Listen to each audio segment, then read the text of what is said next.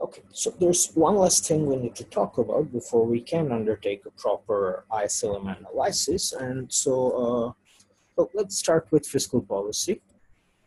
So as we've talked about, fiscal policy has everything to do with the government's uh, revenue or income. And all of you should know that when revenue is more than uh, expenditure for the government, we have something called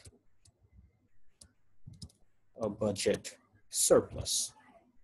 And when revenue is less than expenditure, we have something called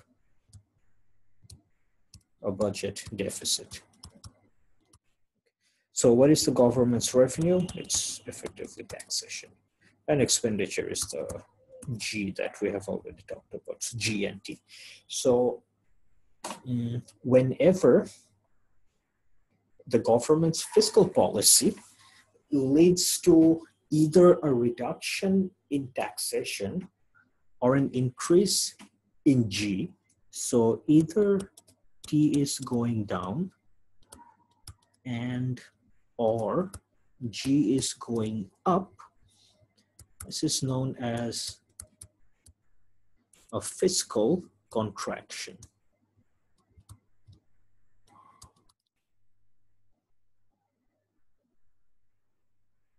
No, wait, that's not right.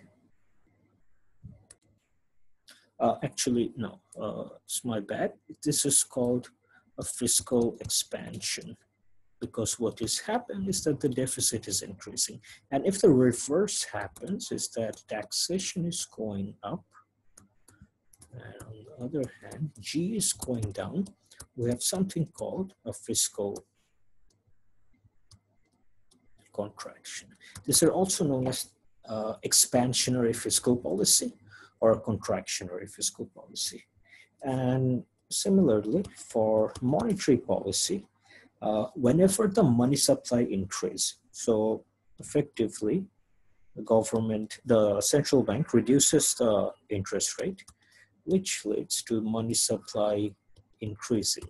This is called a monetary expansion or an expansionary monetary policy.